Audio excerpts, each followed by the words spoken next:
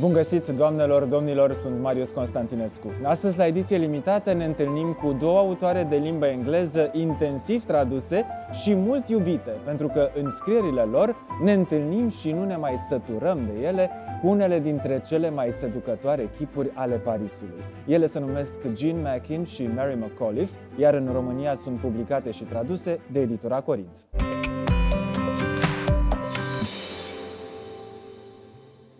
Mary McAuliffe deține un doctorat la Universitatea Maryland, a predat la mai multe universități americane și a susținut conferințe inclusiv la Smithsonian Institute. A petrecut mult timp la Paris, iar astăzi își împarte experiențele literare și fotografice de acolo pe pagina de Facebook și pe blogul care îi poartă numele.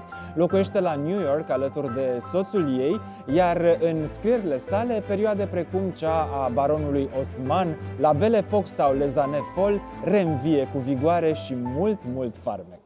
At the turn of the century, Paris is undoubtedly and unquestionably the most fascinating city in Europe, if not the whole world. Why Paris and only Paris? Why Paris and only Paris? Yes. Oh, the people. The people, always, always the people. And that is what I focus on in my books. What wonderful people there were. And they weren't all Parisians, they were not all French. By this time, they were coming from all over. They were coming, you know, from Spain, Pablo Picasso, many others followed his steps.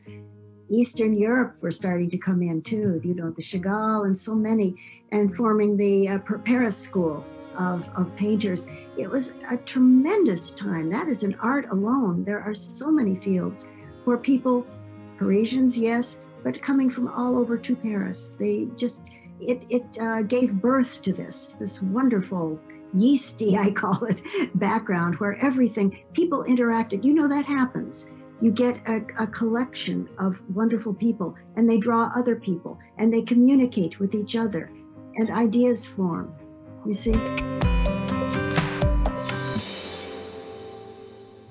Are we talking about uh, one Paris with several faces, or actually um, different micro cities within its boundaries? Because if we think uh, of the difference between Montparnasse and Montmartre, for instance, there we could have, we could easily have two cities in one. You could. And you could also have another third city uh, around the western portions of Paris and those who formed in a, a group around Diaghilev and Jean Cocteau. And Jean Cocteau was also in Montparnasse and he sort of go, went back and forth. But there was this third group, Coco Chanel would be in that in the 1920s and 30s, uh, a little more, a lot more conservative politically. Uh, and uh, very much formed around, uh, I would say, Diaghilev and the Ballet Russe. That that crowd. But that also attracted, of course, Stravinsky naturally and Picasso became a set designer for it. So these overlap, but yes, there were separate cities. And there's another sense of separate city, Marius, and that is not everyone in, Par- in Paris at that time was an artist Yes. or a thinker or a writer. There were many, many people who were the bourgeois. And then below that, there were the workers and many of those were suffering a great deal. What does Paris preserve from its Belle Epoque time uh, and um, uh, still uh, includes in its Années Folles? Oh, what a very good question. I would say I would focus more on change than on continuity. Okay. But there always is continuity, always. I mean, you have Monet, Claude Monet, who continues right on. He has started way back in the 1870s at the beginning of the Belle Epoque. He goes through those years of World War One. He uh, and then he is still he doesn't die until later into the uh, into the 1920s, Les Années Folles. the so massive presence of Americans there in the first decades of the 20th century. How does that change the face of the city? I think it changed during the Les Années Folles, uh, much more than before. Uh, the number of Americans before that was rel- was quite small. Yes. But afterwards, after the war, partly because there were so many American soldiers there and they remained, or they went home and then they brought their families or their girlfriends with them. They had to see Paris. That was part of it, but also part of it. Um, there was a, uh, a, huge number of steamship lines that provided steep, uh, cheap fares. These were the ones that used to bring immigrants to the New World, and now they were bringing back Americans to the Old World. Uh, and these Americans wanted to see Paris. Well, all they saw really was Montparnasse. That's all they wanted to see. Perhaps, perhaps Montmartre. Uh, and how did they change it? They took over, unfortunately, so many places. Montparnasse was not the same by the end of the decade, and many Parisians were fleeing. Both periods of time uh, are myth surrounded, uh, legendary uh, in the life of the metropolis, with anecdotes, histories, and uh, also imagery still vivid uh, in the in the massive cliche capital that Paris epitomizes even today. What would be the rotten, or at least the unseen reverse of the story? This is what I tell everyone. Please do not go to the same old places in central Paris the tourist spots, the, the, the Tour Eiffel. Do not, you can see that if you wish. Go to the Louvre, go to the whatever in central Paris, but get out, get off the beaten path. Americans all want to go to the left bank. I say, no, go to the right bank, please. Go to the Marais, go to the area of the Bastille, République, and the only the uh, the 11th arrondissement, the 11e uh, which is where we stay. We have Marcel Proust, Sarah Bernhardt, Paul Poiret, Maurice Ravel, Pablo Picasso, Claude Debussy, Henri Matisse, Auguste Rodin, François Coty, Louis Renault, Jacques Guerlain, Marie Curie, les frères Lumière. Then later on we have Coco Chanel, Gertrude Stein, Man Ray, André Breton, Constantin Brâncuși, the Romanian-born Constantin Oh yes, we must not Elsa. Schiaparelli, Ernest Hemingway, Josephine Baker. Basically, everybody who's been somebody is to be found in Paris within Yes. These decades, from this La. Belle Époque up to the Les Années Folles. Well, and up to the war. Yes. up to the occupation in Germany. After the war, it was different. And I will have to say, after the war, Paris is still a destination, but more for tourists. I think I will have to say this the artists, the center became New York. It is less so now. But I was going to ask you that because uh, you also have Central Park, New York, as your background for today. And we are talking about Paris. So we have Paris and New York, like two poles uh, dominating the first half of the 20th century. yes. Yes. I like to, I, I- I was thinking of an image. George Gershwin coming to Paris to write his American in Paris, but at the same time, Maurice Ravel coming to New York to play concerts. And he and George Gershwin together, George Gershwin invites him to visit the Cotton Club in Harlem to hear jazz. Isn't that isn't that a beautiful Yes. uh, symbol? I like to see that. I would have liked to see that.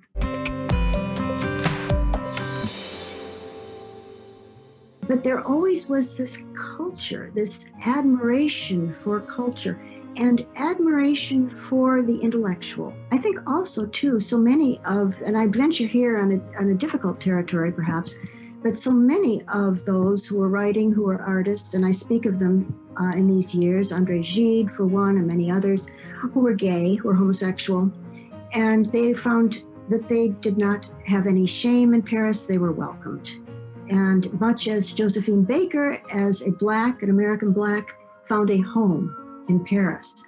So they were welcome here, these outstanding people who may not have been welcome other places, especially in America, unfortunately. This kind of influence, and this, this resonated certainly with the wealthy upper classes of Americans. And these were the trend centers here. Communications, I think, makes a difference. Mhm. You have the printing press, the rotary press. You have photography capturing so much of this, and newspapers and mass newspapers. So this spreads a lot of what was going on. Well, your books, I would say, are fiction in disguise because they are historically so accurate and well documented, yet so easy and so so pleasant to read, with characters and situations that are equally fascinating. Um, where specifically in Paris do you like to wander um, in an imaginary addendum to your books? Oh, that's a lovely question. Uh, I can wander in my mind so many. Okay. Yes, we all wander. We We all all wander in our minds today. Yes. I will take you first to central Paris, where I said stay out, but I will say no.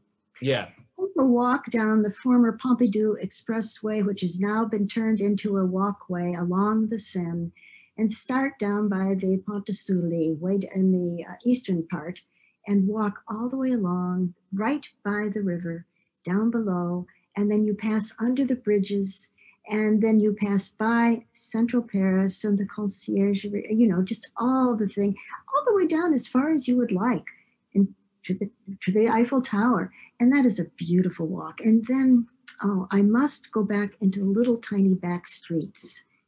Uh, I will. Oh, I love the bakeries. Oh, who doesn't? Yeah. the food, yes. And I go down and I pick up in the morning, not a croissant. I, croissants are good, but they do not fill me up. And I love the bread. Oh, the bread is so Yes. good. And a nice, heavy, hearty bread. And our bakery, which is interestingly called, by, is by owned by a Michel Dupin Mhm. good name. And he has a bread called the Cirque because we are near the Cirque d'Hiver. Mhm. And uh, it's a round loaf and full of good grains and moist and beautiful. And we get a slab of that and we bring it home. And oh, it is so good. And then we walk. We will, where do we I, I- we have so many favorite walks. I cannot tell you. Uh, it depends what kind of a day. Is this the day we take the promenade plantée? Ah, from the day all the way out to the Bois de Vincennes, and there we can go on to the Lac Daumesnil. Each, by the way, the each of these wonderful forests on each side are, are parks on each side of Paris, which are gifts of Napoleon III, an authoritarian rule. And I will have to say, please don't forget my latest book. I have to show you there. yeah, It yeah. is Paris City of Dreams. Is this this is Dawn of the Belle Epoque? I'm sorry. I have it. yeah, whatever. Uh, Paris City of Dreams. It's the Paris that we know and love today. It was built, but it was built under very harsh circumstances. If you were to choose for a time capsule some human intellectual creations of both La Belle Époque and Les Mm. Années Folles, what would you choose? Oh, I'm an American, so I love Impressionist art. Okay. I love Monet. Um, actually, Debussy and, and Ravel too. I, I, I am a musician, it- not a very good one, but I play the piano, and I love to hear. And my my husband is in music, so uh, he works with symphonies.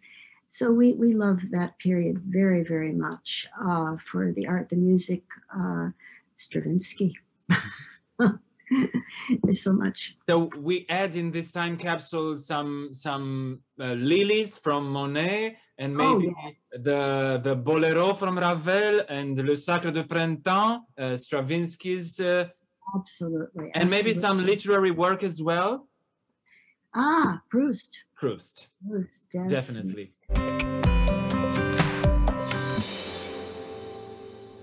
We were talking earlier about the Great uh, War, um, World War One, uh, and uh, we must not forget that um, its boundaries also uh, coincide up to a certain extent uh, with the Spanish flu. Uh, Now, Oh. today we are living quite similar times, unfortunately, and I was wondering not to finish this interview uh, in a in a lower note, yes, on the downside, but uh, quite the opposite.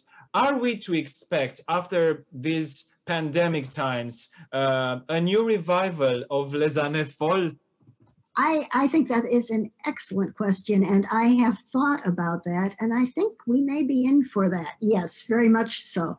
In fact, some people behaving in ways in this country, certainly, that don't make a lot of sense right now uh, because they can't wait to get out and they can't wait. They're almost exploding. Yes, I know. I It's there will be happening this- here as well. this explosive period period and here i am very good. My husband we, we wear our masks we double mask and all that but uh, and here in new york people are very good but elsewhere not so good. But that is another question. You are asking about behavior in general. And i think yes people will sort of go like that. And i think there will be some of that yes very much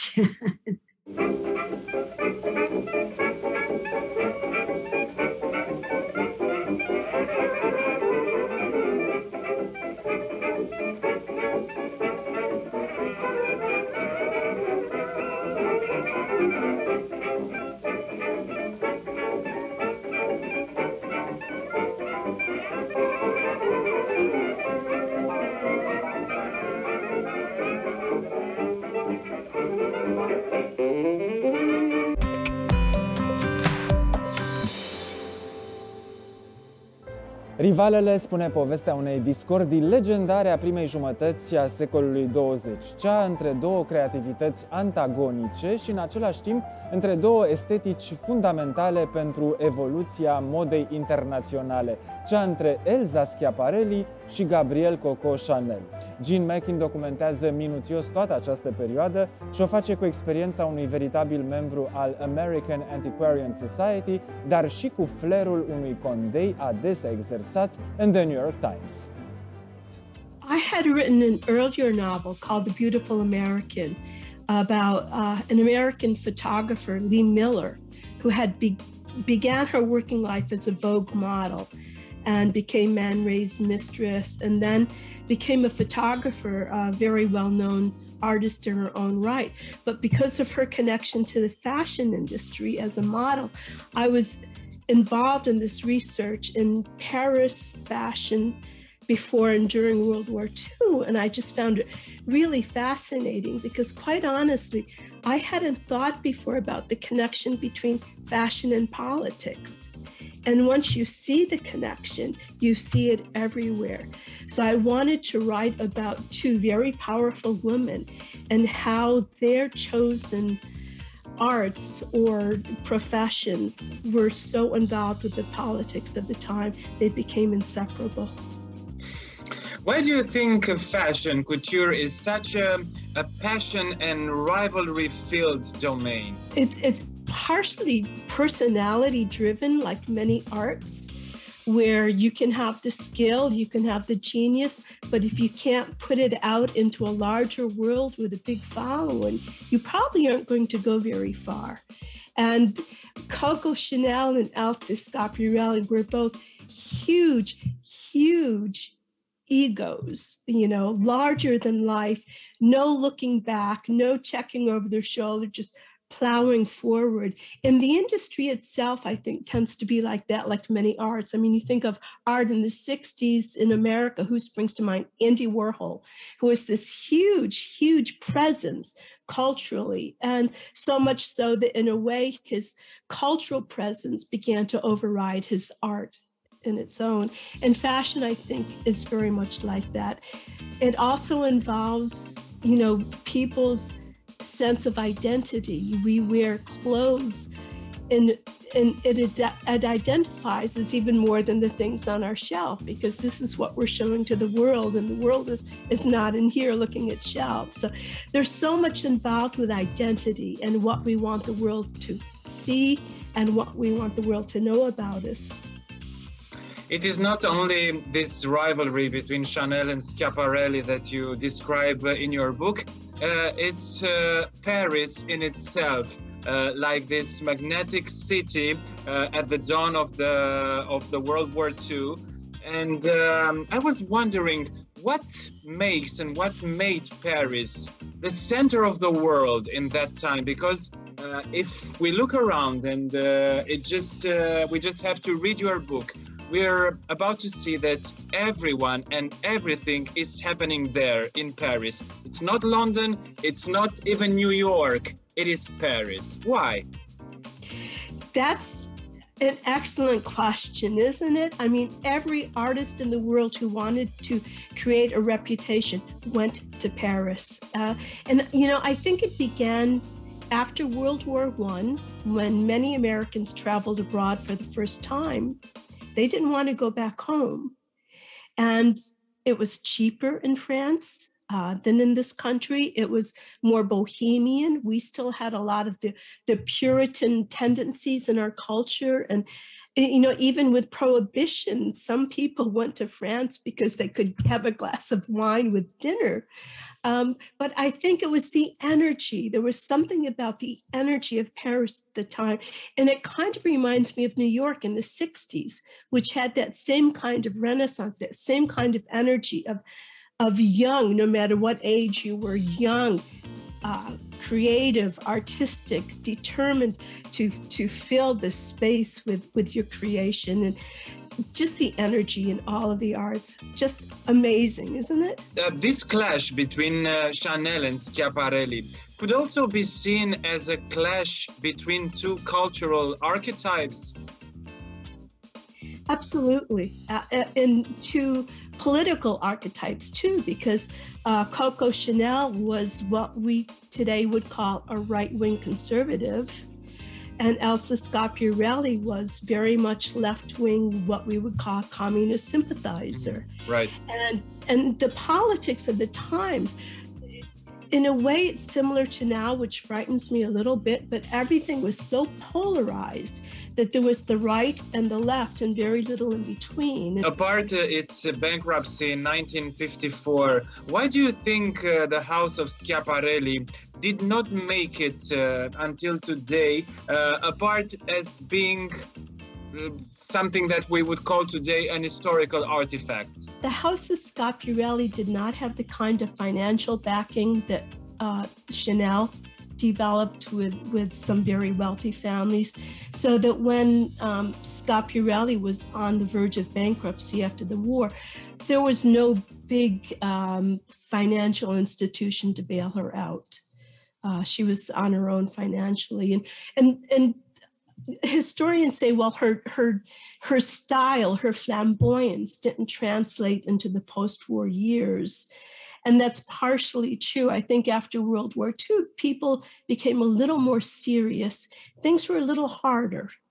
Um, rationing, uh, not as much money, trying to find jobs, and her the playfulness of her designs didn't carry over the way some of Chanel did with her very business-like suits that could be worn everywhere, that little black dress that could be worn everywhere. Uh, I think Schiaparelli's just wasn't as flexible as Chanel's. But I want to point out, and this this makes me so happy, when President Biden was inaugurated, and there were two performers, Lady Gaga and Jennifer Lopez, right? Jennifer Lopez wore Chanel. Lady Gaga wore Schiaparelli.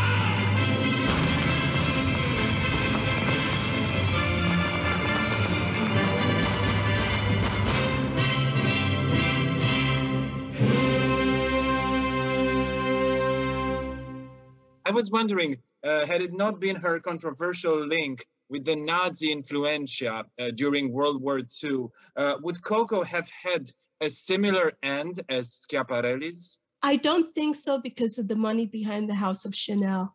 Uh, it's worth trillions of dollars, and even after the war, it was still worth a tremendous amount of money. And and there were there were backers. An Italian group uh, decided to revive the name, and we're about to see uh, how this transition is going to happen uh, for the next years because the tradition exists. The name uh, we have to raise up to is really an important one. Now we can we have to see uh, the metamorphosis uh, linked to this particular time and to the taste of this time. Absolutely. You know, when I was working on this book and talking occasionally to friends and other people about it, so few people had actually heard of Elsa Schiaparelli. And it, it, it actually kind of shocked me because her name had always kind of been a part of my life. I remember being a teenage girl and having a newsprint blouse on it, which was one of the things that Elsa Schiaparelli invented, of course. Mine was a knockoff, of course. but um, yeah, we need to get her name out there. I mean, she was such an artist. Yes, yes, she was, and and it's funny that um, not even um, her secondary lines, which is the perfumes, the accessories, they did not make it until today. If we think of an iconic perfume, uh, which was shocking, right? 1928, probably uh, her um, best known perfume uh, to date. It didn't make it. Chanel 5, it did. Yeah. Uh, in some ways, Coco Chanel was just such a better business person. The the shocking perfume, uh, that silhouette is based on Mae West's body. Exactly, exactly, and it's so been and it's been replicated by Jean-Paul Gaultier in the early 90s with his uh, with his um, uh, flask of, uh, Yes. of perfume. Yes. Now, uh, Coco died in 1971. Uh, it is in 1983 that Karl Lagerfeld became the chief designer of Chanel.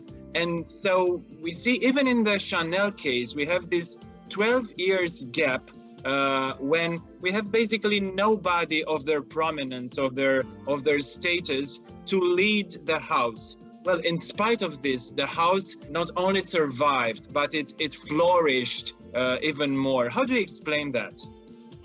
There were a couple of items that that Chanel uh, put on the market that became so iconic. Uh, the purse, the little quilted purse, Yes. uh, as you say, the perfume, the tweed suits that uh, look. They looked in the 70s a little too ladylike for many people, but were actually very versatile. You could wear that jacket with jeans. Uh, looked great. Would you say that uh, Schiaparelli was more uh, couture oriented uh, instead of Chanel, um, who at a certain point um, concentrated more on pret à porter? I, I think I would say that. I mean, Elsa Schiaparelli actually, I think even before Chanel, created a ready-to-wear for uh, department stores. Bonwit Teller in New York had ready-to-wear uh, from Schiaparelli, and in a way, Schiaparelli hampered herself by allowing all sorts of knockoffs. She was very flattered when people imitated her. She did not protect her work the way Coco Chanel did. So that there was there were like imitation Schiaparellis that really did compete with the real thing. And that I think that harmed her a lot.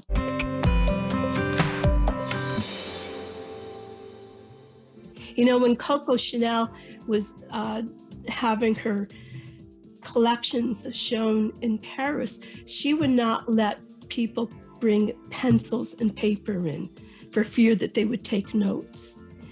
And uh, Schiaparelli, on the other hand, said, Oh, let them copy. I'm flattered. Well, you put much emphasis on primary colors in your book. Basically, um, all the book's parts are defined by one primary color. And I was wondering, since obviously Schiaparelli was the color and Chanel was the contrast between non-colors, which is black and white, which is the importance that you give to this uh, to this message transmitted by the color? Color fascinates me. Uh, Yeah. I am I am a verbal person, not really a visual one. So I am constantly challenging my perception of the world and how it appears on the page. I mean, for instance, when I was working on a novel, I gave a small section of it to my husband to read, and he said, "You know, Jeannie, there's not a single color here." And, and I realized, oh, yes, well, you have to account for the colors in the world as well. It's not just black and white on the page. And my father was colorblind. So I've always tried to imagine what is it like to actually not even see color. So color fascinates me and, and our relationship to color. Uh, what it does to us. For instance, I'm wearing black because I'm actually a very shy person. I do not wear shocking pink. black works for me. I am. if you were to define both couturiers with just one word for each of them, what would your choice be? Uh, for Elsa Schiaparelli, it would be playful. And for Coco Chanel, it would be wearable. The last question, maybe a trickier one. What Chanel piece uh, would you match with the Schiaparelli one? Uh, the, the Chanel, no, that's a good question. So the, the, Chanel piece you would have worn would have been a little day suit, very practical little day suit. I, I think the Schiaparelli piece would have been the cloak embroidered with the zodiac, uh, with the sequins and the velvet. The one that Lady Mendl wore that probably mm-hmm. weighed about 40 pounds, right? Hard to wear on a little woman. It's been a pleasure, Jeanne. Thank you so, so very much. Thank you, Marius.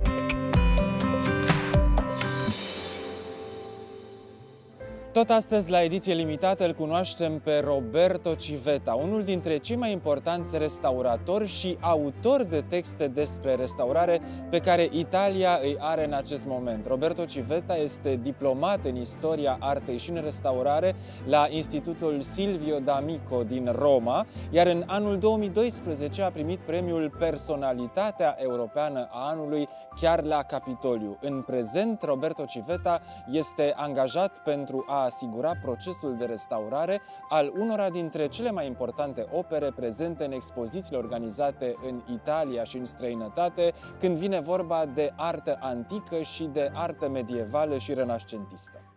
È un piacere per me eh, parlare un po' eh, di un tema che non ho toccato finora nel eh, mio show, cioè il restauro d'arte. Eh, la prima domanda è mm, veramente questa, una propria curiosità. Quanto è arte e quanto è tecnica in un tale processo? Bene, allora diciamo che il, il, restauro in Italia parte da fonti antiche come diciamo nel resto del mondo, ma specialmente in Grecia. Diciamo che per rispondere alla domanda inizialmente direi che è un, è un fatto tecnico. Allora, mh, per quanto riguarda le, le mostre, eh, le opere d'arte che vengono esposte temporaneamente all'interno di un'esposizione, Ehm, e la figura del restauratore interviene laddove appunto c'è l'esigenza di valutare lo stato di conservazione dell'opera, quindi in realtà il restauratore arriva eh, quando le opere arrivano al museo, mm-hmm. che, deve, che, deve, appunto ospitare queste opere. E c'è una, si redige una, una schema che si chiama Condition Report, dove vengono descritte eh, nello specifico tutti, tutti i fenomeni di degrado a seconda ovviamente del materiale, eh, del materiale se, se, è una scultura, se è un dipinto, a seconda di quel materiale vengono inserite alcune voci e vengono viene studiato proprio lo stato di conservazione dell'opera che viene descritto in queste schede. Parlavi di questo argomento, di questo tipo di ambiente eh, museistico eh, adatto alla lunga conservazione di un'opera d'arte. Di che tipo di ambiente ha bisogno, diciamo, un quadro del Rinascimento per essere apprezzato a lungo senza danneggiarlo perché sappiamo che mm, eh, il più grande danneggio viene proprio dai visitatori del museo ma non toccando l'opera naturalmente. Alla conservazione preventiva, al controllo microclimatico del museo perché c'è la, non solo la, la, diciamo, l'ambiente dove viene destinato e la, la, insomma dove appunto ci sono i parametri di temperatura, umidità relativa, ma ci sono anche le radiazioni elettromagnetiche, la qualità dell'aria all'interno degli, dei macroambienti, delle sale espositive, se poi pensiamo ai depositi anche lì ci sono, oppure dei microambienti dove ci sono questi contenitori museali anche all'interno delle vetrine eh, dove vengono esposte le opere, tutto deve essere calcolato. Ovviamente ci sono delle tabelle di riferimento, anche degli standard che fanno proprio riferimento al quantitativo, al numero delle persone che visitano eh, che visitano gli ambienti. Ad esempio mi viene in mente che per la Cappella Sistina c'è, stato tutto uno studio, eh, innanzitutto insomma ehm, negli ultimi anni, per cui sono state cambiate, è stato cambiato proprio l'assetto e l'illuminazione, è stato studiato nuovamente eh, tutto l'aspetto termo-igrometrico e per, proprio anche in funzione del cambio del numero maggiore di visitatori rispetto a quello di un ventennio precedente. Però ci sono anche altri fattori che possono essere proprio causati dall'agente umano che è per esempio un atto vandalico, un furto, sì. uno spostamento illecito, insomma, eh, oppure addirittura pensiamo che sia una, un museo che ha un'opera esposta vicino, proprio su, vicino a una strada ad alto rischio, ad alto traffico, i movimenti, eh, che la struttura edilizia può, appunto, può sostenere. Quindi ehm, è veramente mm, importante riuscire a studiare, a conoscere bene l'ambiente in cui viene esposto e bisogna monitorarlo per tutto il tempo dell'esposizione, in questo caso temporanea, di un'opera che viene prestata a una mostra. Roberto, dimmi quali, quali sono i più importanti progetti che hanno beneficiato della tua esperienza? Eh, ho una certa età e quindi diciamo che... Ma non si vede, non ti preoccupare perché non si vede quest'età. Grazie, grazie, molto gentile, però eh, allora diciamo che dal 2006-2007 al 2010 mi sono occupato del restauro basilica, di una parte della Basilica di San Pietro e quindi dal congiungimento con la facciata fino all'abside del transetto di Michelangelo all'inizio dell'abside in questi quattro anni ho eseguito questo lavoro della, della facciata, del laterale della facciata esterna del prospetto sud e a, a, diciamo nello Stato Vaticano anche restaurato la parete di controfacciata in stucchi dorati, le finestre della navata centrale, una chiesa che è all'interno dello Stato. Poi ho fatto, attualmente sono al Colosseo, al restauro della galleria intermedia al Colosseo, ma nel, me, nel mentre ci sono tantissimi lavori anche, come dire, poco noti, che però a me sono, non, sono molto cari, perché mh, questa professione ti mette davanti a, a è, è, una parte della vita, non, non scingo lavoro, a lavoro, vita privata, insomma alla fine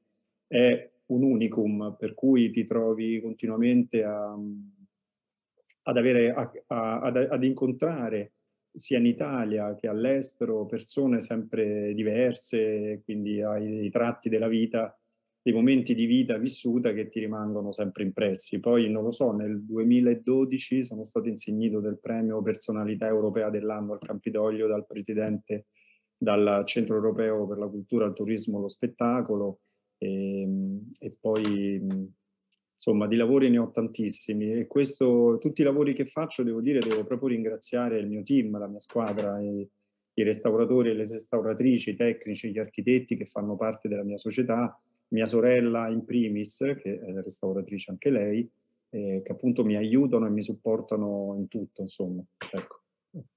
Hai dei campi favoriti nel restauro? Allora, per quanto mi riguarda mi occupo di materiali lapidei e derivati, tutto ciò che è in architettura, in scultura, stucchi, affreschi, mosaici, ecco, questo è proprio il mio settore, però il mio team è abbastanza completo perché abbiamo insomma anche altri materiali. Una domanda forse un po' inaspettata, qual è la più importante errore che un restauratore può fare? Beh, quello di non valutare che, che, che, cosa ha di fronte, che tipo di opera d'arte ha di fronte, se non si prepara bene, se non studia bene l'opera, se non conosce la, l'aspetto storico-artistico, l'aspetto chimico, vengono, considera che spesso prima di mettere, come dire, fisicamente le mani su un'opera c'è la possibilità di, di avere tantissime risposte eh, che possono essere eh, come dire, delle, delle, indagini di laboratorio non distruttive, ci sono degli studi grazie anche alla fotografia, alla radiografia, che ti possono raccontare cosa c'è dietro, dentro l'opera, dietro l'opera, cioè quello che tu non riesci a, a cogliere visivamente. Quali sarebbero le mostre internazionali che ti hanno lasciato un'impressione indimenticabile negli ultimi anni? Ok, allora intanto ti ringrazio e e ricordo a te, ricordo anche a me che da circa un anno ho iniziato a scrivere anche per una rivista alla quale sono molto legato, che si chiama Art of Part of Culture, Remove the Background Noise, che è costituita insomma da tre donne che stimo moltissimo e che mi hanno dato questa grande opportunità di scrivere con loro e di poter, eh, come dire, condividere eh, ciò che più mi interessa, che è la conservazione dei beni culturali, uh -huh. perché sono certo che la memoria, la memoria di ciò che è nell'archeologia, che è nella cultura dei popoli, non sono italiano, ovviamente l'Italia, sai, non è necessario dirlo, è il paese che ospita e che trattiene, che tiene maggior quantitativo e qualitativo delle opere d'arte del patrimonio mondiale. Però allo stesso tempo ehm, ricordo anche a me stesso che il valore della cultura, della memoria che, che passa attraverso l'arte è ciò che fa dei popoli, anche quelli più lontani da noi o poco conosciuti, ne mantiene l'esistenza. Quindi, per quanto riguarda le mostre, mi viene in mente di dire che mi, mi sono sempre piaciute perché spesso ho l'occasione di poter scegliere eh, a quali lavori poter indirizzare il mio tempo, anche se sono dire, una persona che cerca di, di, di, di poter contribuire per quanto poss io possa fare a tutto ciò che mi, mi viene incontro. E, ehm, c'è una mostra in particolare che con il gruppo Artemisia si tratta di, ehm, ho collaborato con loro, ehm, con il presidente Iole Siena, che praticamente è stata Pollock, la scuola di New York, che con il Whitney Museum ho avuto l'occasione di approfondire questo, quel periodo che va insomma negli anni 50, metà del Novecento americano e che ha fatto sì che eh, gli artisti americani fossero presi poi in considerazione perché fino a poco prima venivano, mh, erano presi in considerazione soltanto gli artisti europei. Quindi un po' questo momento che segna questo passaggio mi ha incuriosito molto e vedere quelle opere che normalmente non vedo, sono abituato a vedere, eh, mi hanno veramente appassionato. Il tuo discorso eh, sopra l'arte in genere eh, ha questa caratteristica di essere allo stesso tempo accessibile e molto molto eh, profondo in ciò che riguarda il valore eh, delle informazioni. Per me è un grande piacere eh, parlare con te oggi e ti ringrazio tantissimo per questa occasione. Grazie Roberto. Guarda, sono io che ringrazio te, è davvero un'esperiența molto bella, molto interessante, quindi ti ringrazio moltissimo. Doamnelor, domnilor, ediția limitată de astăzi se închide aici. Sunt Marius Constantinescu, citiți nelimitat!